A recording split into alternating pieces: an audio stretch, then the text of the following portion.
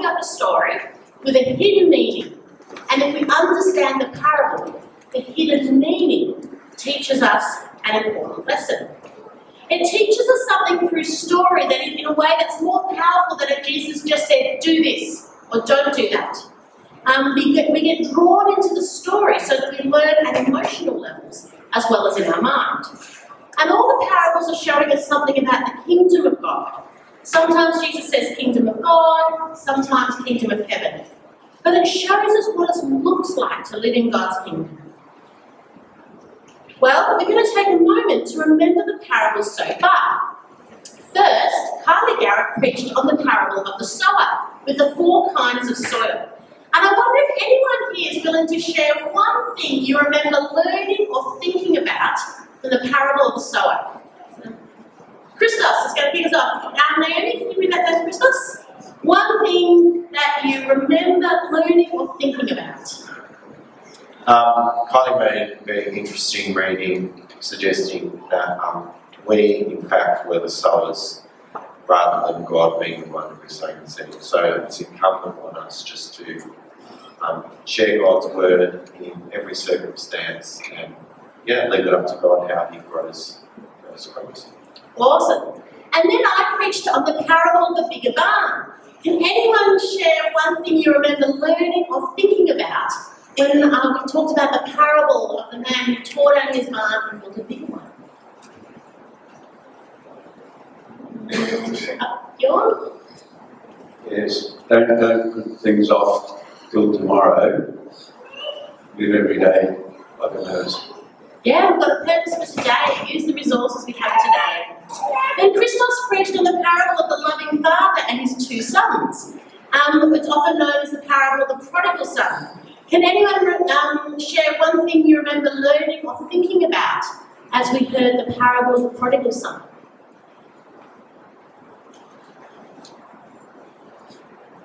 Okay, he's back one of his. Ravi. We'll just bring the microphone and then we'll all get to you. The Father's love is unwavering and uh, unconditional. Yeah. Yeah, we had some beautiful testimonies of people in the church sharing things they loved about their earthly father. And we heard that God's love is so much more. Then Rosemary preached on the parable of the persistent widow. Can anyone uh, share something they learned or thought about from that parable of the persistent widow, that judge who wouldn't give her justice? Can you take it again? Now, women, speak up. We need to hear from some women as well with reflections. Persistence pays. Persistence pays, yeah, that persistence in faith that God calls us to. And then uh, so, uh, Danica preached on the parable of the unforgiving servant. Can anyone share one thing they learned or thought about as we heard the parable of the unforgiving servant?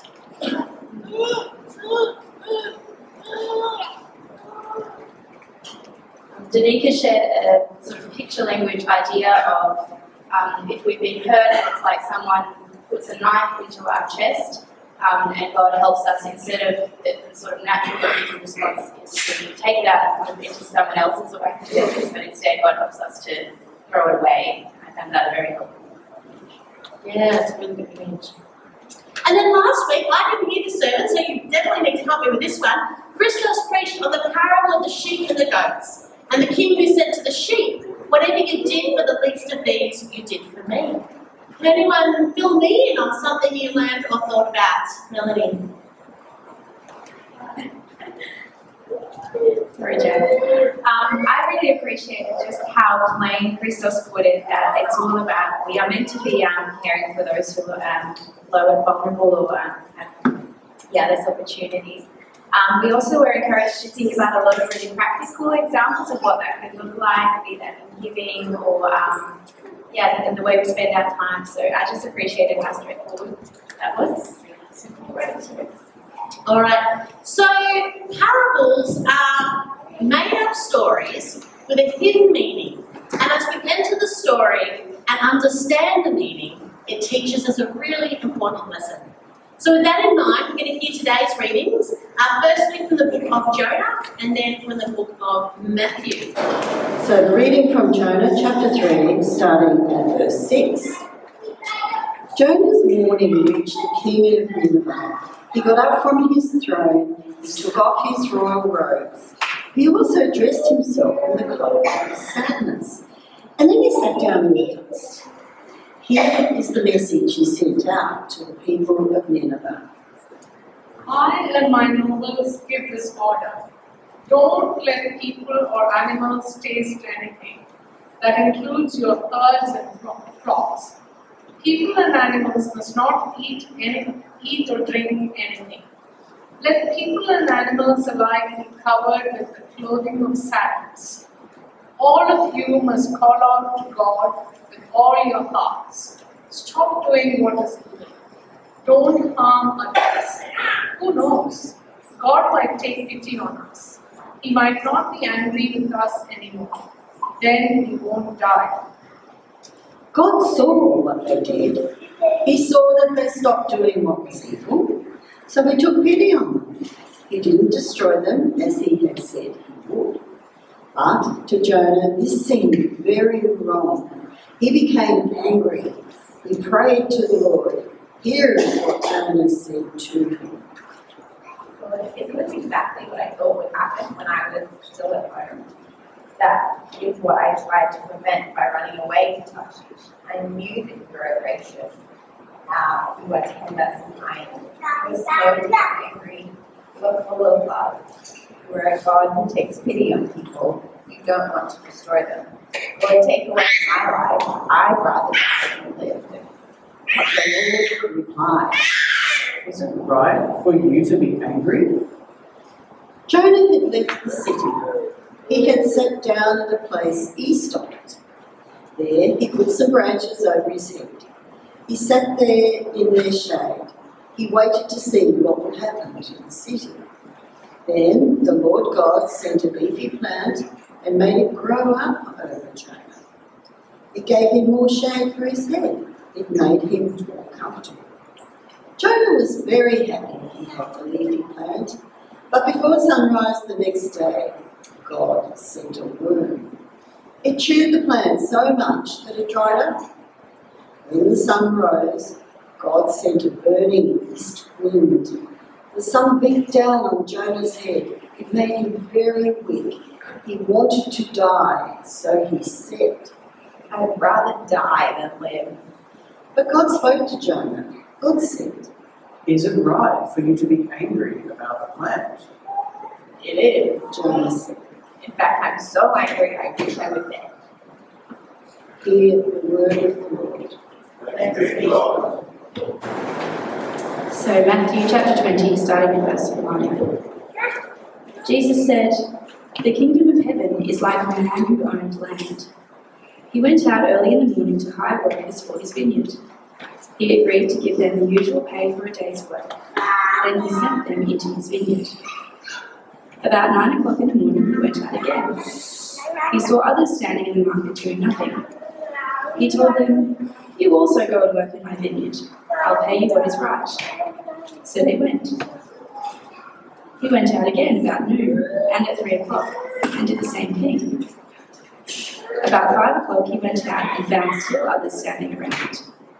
He asked them, Why have you been standing here all day long doing nothing? Because no one has hired us, they answered. He said to them, You also go and work in my vineyard. When the evening came, the owner of the vineyard spoke to the person who was in charge of the workers. He said, Call the workers and give them their pay. Begin with the last ones at hired. Then go on to the first one. The workers who were hired about five o'clock came. Each received the usual day's pay. So when those who were hired first came, they expected to receive more. But each of them also received the usual day's pay. When they received it, they began to complain about owner. These people who hired, who were hired last worked only for one hour, they said. You have taken the same as us. We have done most of the work and have been in the hot sun all day. The owner answered one of them. Friend, he said, I'm being fair to you. Didn't you agree to work the usual day's pay? Take your money and go. I want to give the one I last the same pay I gave you. Don't I have the right to do what I want with my own money?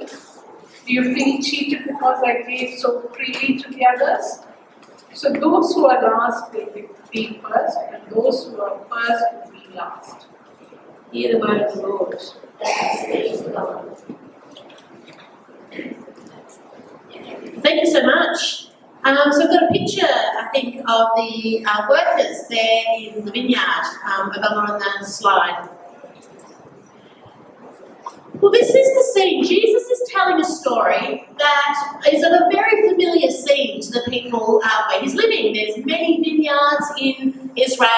Um, it was a farming community. There was a system of day labourers. If you uh, being day labouring would be a very um, uncertain kind of existence um, because each day, if you managed to get work, you would be paid enough for one day's pay. So if you didn't get work, then there would not be enough for you and your family.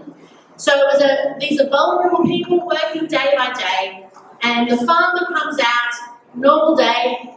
Um, it's a 12 hour working day, so, right, you blokes, you've all got work to visit for the day. Off to my vineyard, you start work at 6 a.m. and you'll go through to 6 p.m. and you'll get the usual day's wage. Those people head off, thrilled to have a day's work. Those who are left behind, you can imagine at 9 o'clock, you've pretty much given up hope of having work for the day, but they're hanging around in case, and sure enough, there's more work to be done. You too can't work in my field. At 12 o'clock, they're probably thinking, well, at least a half day's pay is going to be worth it. Yes, I'll come and work a half day. There'll be some food for my family tonight. Those at 3 o'clock must have really given up hope of eating that night, but they get given some work. And at 5 o'clock, with only an hour left in the day, another group of workers get the opportunity to earn at least a little something that might help their family. Well, on the next slide, we can see that at the end of the day, when the shift was over, they lined up to be paid. Those hired at five o'clock received a denarius. Now, a denarius was a silver coin. This is a replica. It's a, taken as a, from an imprint from an actual denarius that's in a museum. A silver coin like this. This was the standard day's pay. So those who worked only an hour were given the full denarius. And those who worked at three, a denarius for each one. Who started at 12, who started at nine. And those who started at six, who'd worked the full 12 hours in the hot sun, they came and they were given one denarius. They were paid what they had expected at the start of the day. They were paid the agreed amount, but they were paid the same as those who'd worked only one hour. Now, on a human level, we can kind of understand how those 6 a.m. workers might be feeling. It doesn't seem unreasonable, does it? That if they've worked 12 hours and someone else has worked one hour, that they would get at least a little bit more. When the master says, It's my money, I can do with it what I want, what's it to you if I'm generous? We kind of identify with that feeling that it feels a little bit unfair.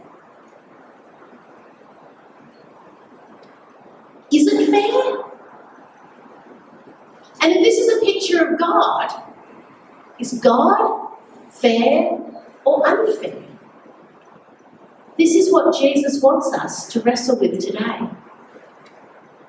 Rather than get into the employment law of first century Israel or get into a debate about the role of unions or Fair Work Australia, we've got to remember this is a parable.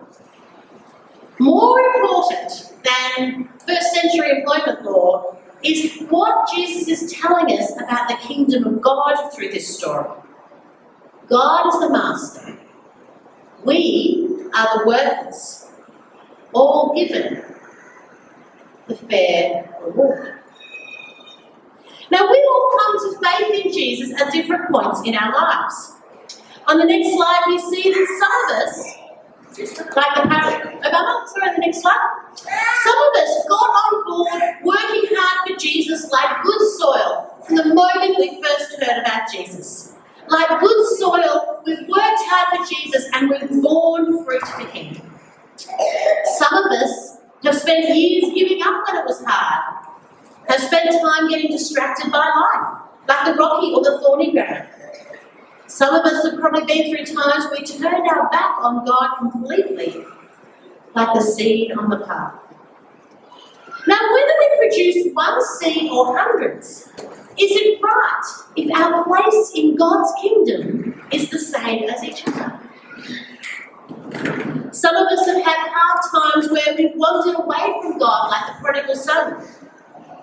When people who've wandered away from God come back, should they receive the same wage? Should they get the same gift from God? Jesus is giving us the answer. On the next slide, we see that some people, like that widow, pray persistently for years and years and years.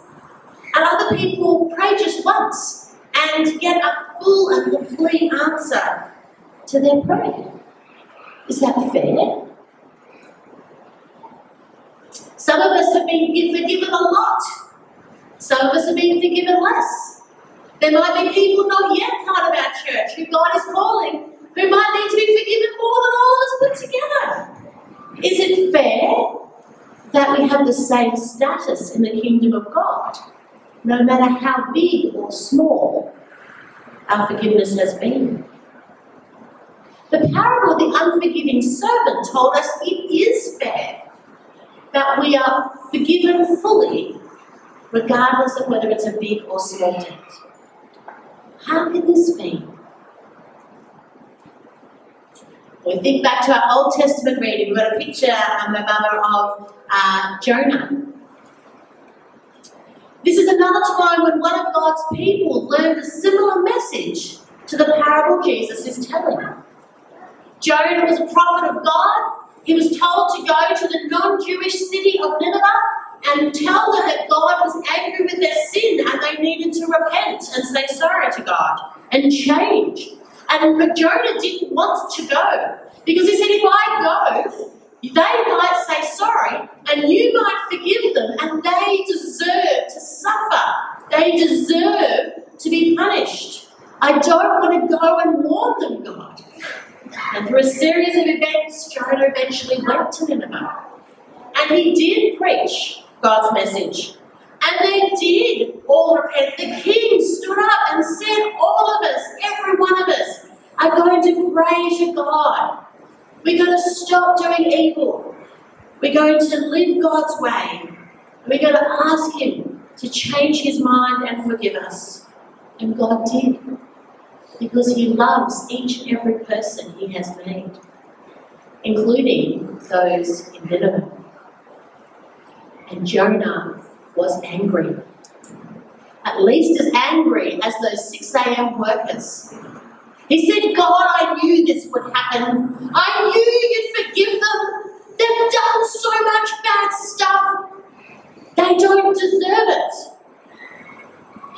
And God tried to show Jonah that in his love for us, for each one of us, every one of us can come back to him.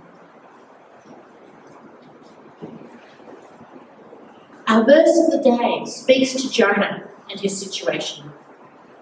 I praise you because I am fearfully and wonderfully made.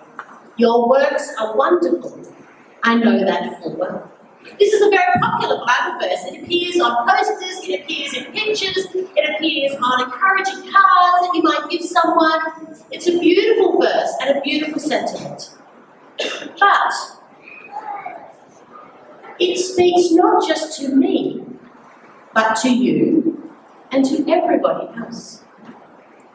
It's true of you, it's true of me.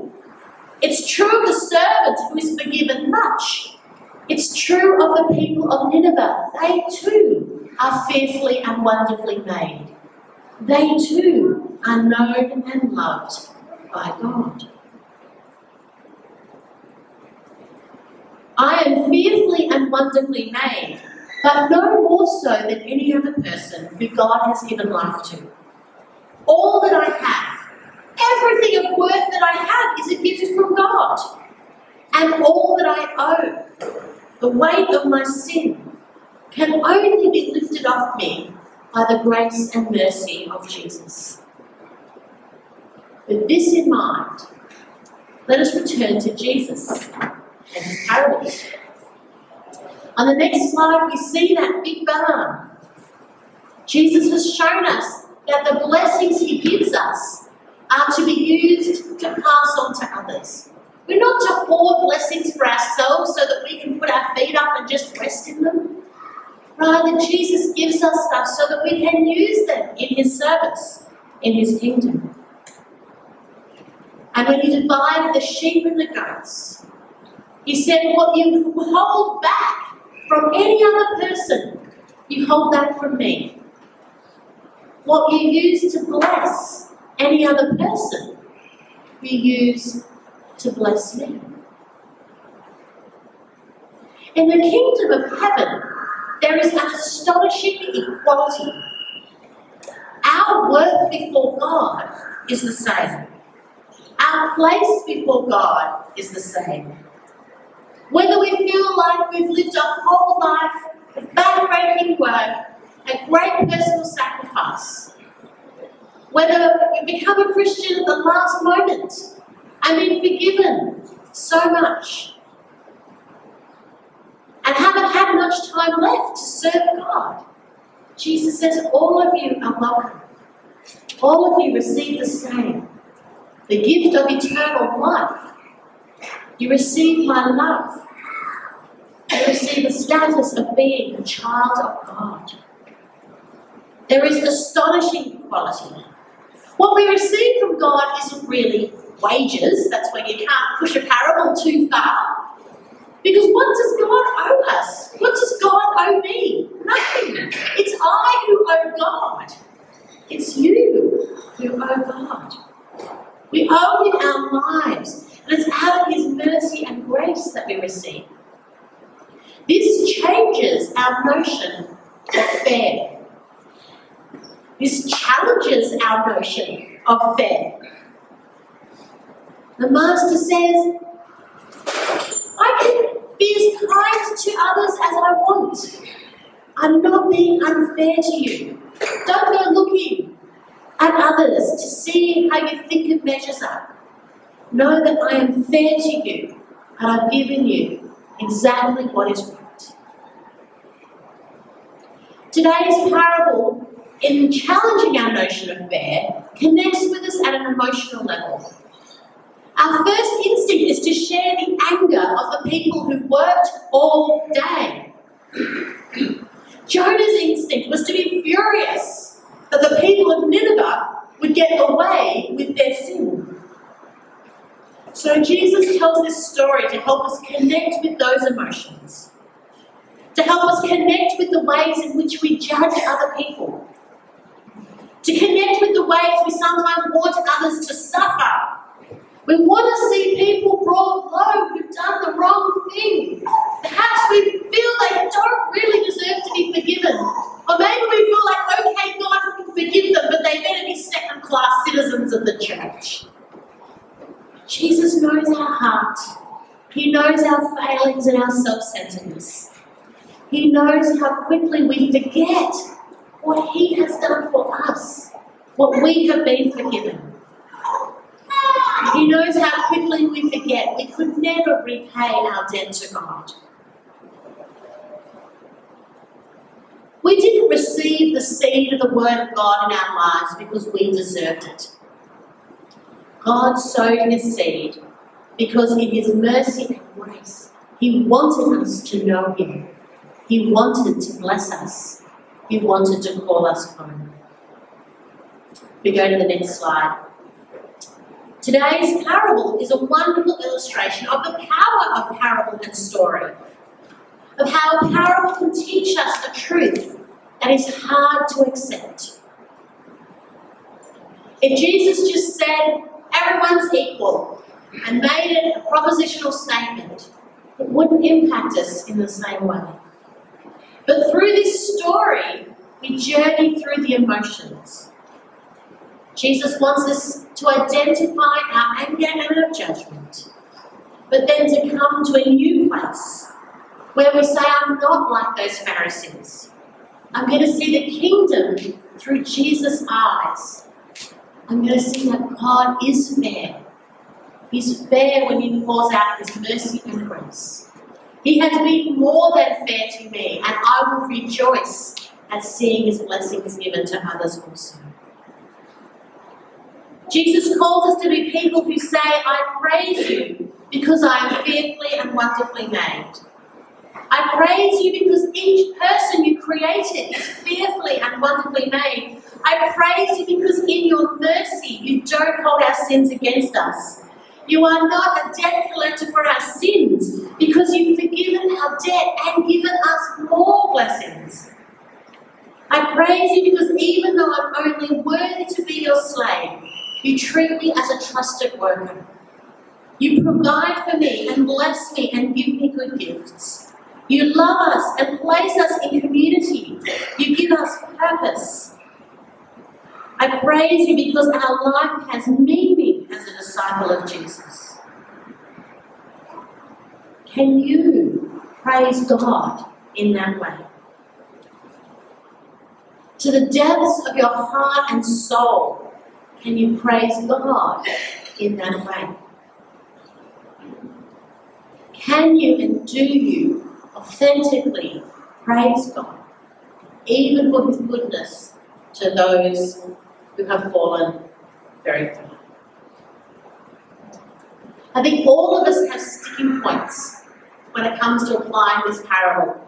I know I do. Those points where it's like, oh, that that's asking a lot, Jesus. Oh, I kind of have to work hard at forgiving that one. Oh, it's not so easy to fully accept that kind of person. What are the sticking points for you? Who are the people you find it hard to see God bless? In a moment, I'm going to pray for us and then leave a moment of silence for each of us to hear from the Holy Spirit. Now, ask the Holy Spirit to show us if there are people or groups about whom our attitude has been wrong.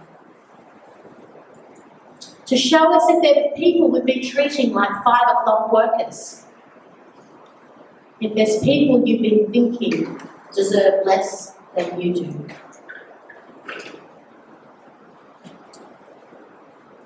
Lord Jesus, we thank you for this parable. It is challenging and hard to hear. But today we say, Lord Jesus, we are willing to hear your words.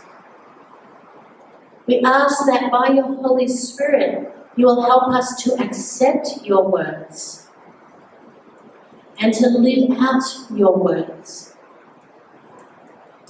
Holy Spirit, if there is anyone who we are holding in judgment, if there is anyone we've been unwilling to pray for that you would bless them, Lord Jesus, show that to us now.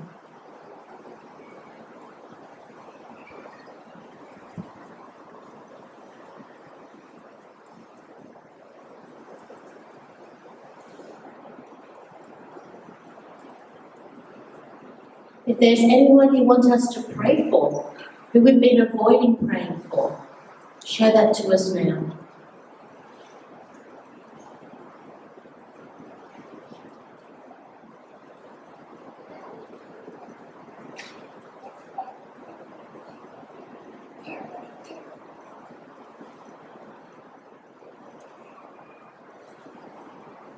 as we continue to live in your kingdom.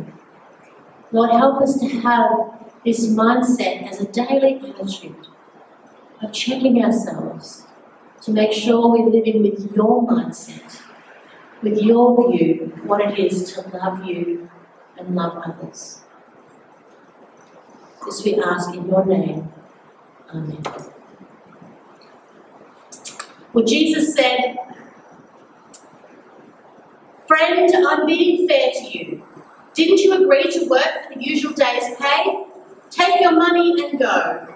I want to give the one I hired last the same pay I gave you. Don't I have the right to do what I want with my own money? Do you feel cheated because I gave so freely to others? So those who are last will be first, and those who are first will be last. Hear the word of the Lord.